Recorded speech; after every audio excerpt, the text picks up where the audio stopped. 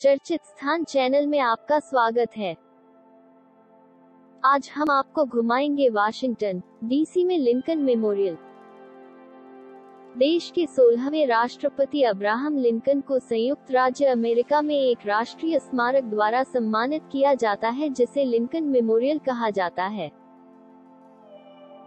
यह Washington DC में National Mall के पश्चिमी छोर पर वाशिंगटन स्मारक के सामने स्थित एक नवशास्त्रीय मंदिर है।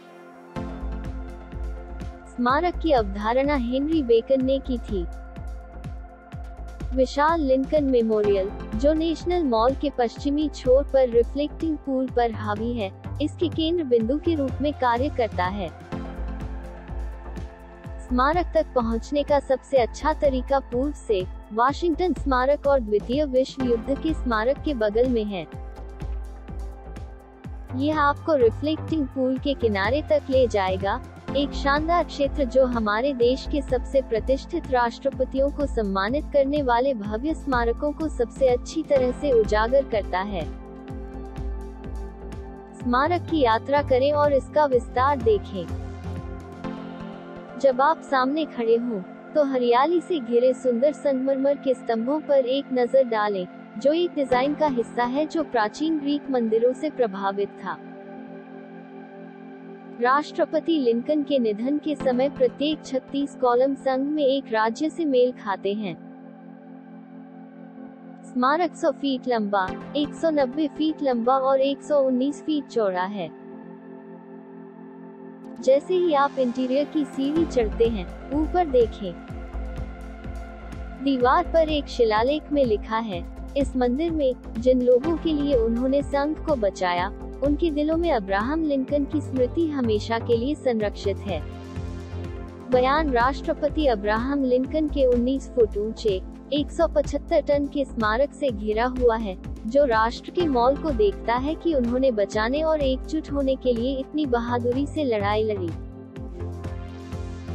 मूर्ति को तराशने वाले डेनियल चेस्टर फ्रांच ने गृह युद्ध के दौरान लिंकन को राजसी और प्रतिष्ठित दिखाने का प्रयास किया।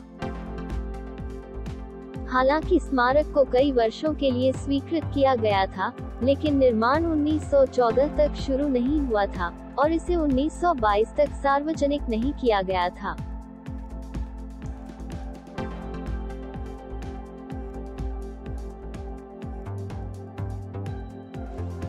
प्रतिमा के बाईं ओर वह जगह है जहाँ आपको द गेट्सबर्ग एड्रेस मिलेगा, जो अमेरिकी इतिहास के सबसे प्रसिद्ध परतों में से एक है।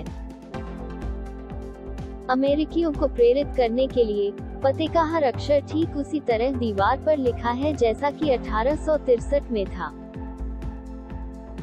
आपको लिंकन के दूसरे उद्घाटन भाषण की संपूर्णता मिल सकती है, जो उनके निधन से कुछ महीने पहले मार्च अठारह सौ पैंसठ में दिया गया था।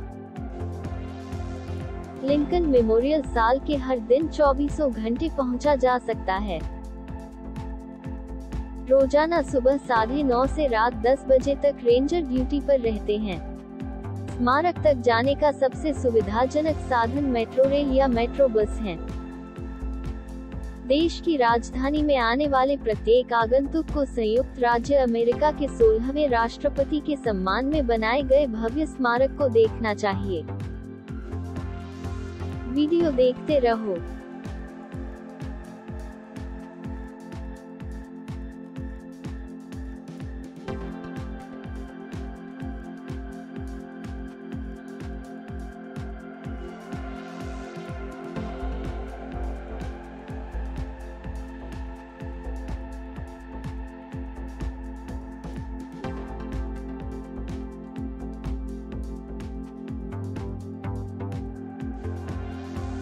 उम्मीद है आपको वीडियो पसंद आया होगा चर्चित जगहों पर हमारे पास 200 से अधिक वीडियो हैं।